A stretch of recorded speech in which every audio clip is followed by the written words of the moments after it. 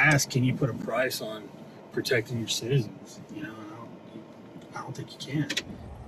First responders making their case that Lubbock's road bond is a lot about public safety. It's good to see you again. I'm Brian Mudd. I'm Lauren Motter. As we head to the polls to vote on Lubbock Street Improvement Bond, our police and our firefighters say it's important we pass it on to protect ourselves. They say the quality of some roads slows their response time and makes driving to emergencies even more dangerous. KMX Ryan Chandler rode along with them to spot the issues today and joins us live from South Lubbock tonight. Ryan?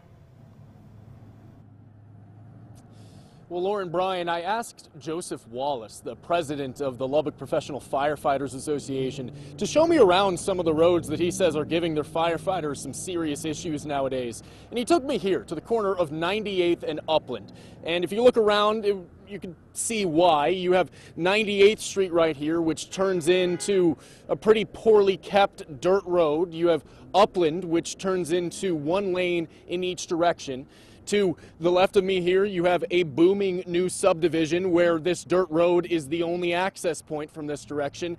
And behind me, you have a new uh, elementary school, Upland Heights Elementary. So you can imagine what their firefighters go through. If it's, let's say there's a fire in one of these brand new homes at 3:30 in the afternoon when cars are congested for blocks trying to pick up their kids from school or maybe inclement weather washed out this dirt road. It's going to slow down their response time immensely, and he argues that that's just one of the reasons to pass this road bond to make sure that they can get to these fires on time.